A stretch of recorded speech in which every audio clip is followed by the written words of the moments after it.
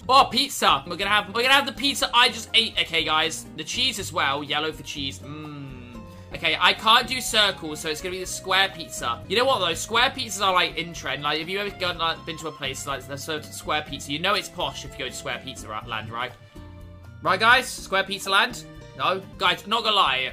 If you don't have cheese on your pizza, then who even are you? Will you guys know if it's garlic bread? But I need a drink. I need a drink, guys, because you know you need a drink with your pizza and Battenberg cake. Milk. Oh, we need milk. Oh, yeah, chocolate bar for afterwards. That's a good chocolate bar. There we go. Now that's more like Battenberg cake. Someone stole my pizza, apparently. Oh, this is a nice slice of pizza, though. Uh, it's okay. It's okay. What the hell's this? Oh, the best one. The best one. Mmm. Oh, I love drinking French fry juice. Mmm, so good. So tasty.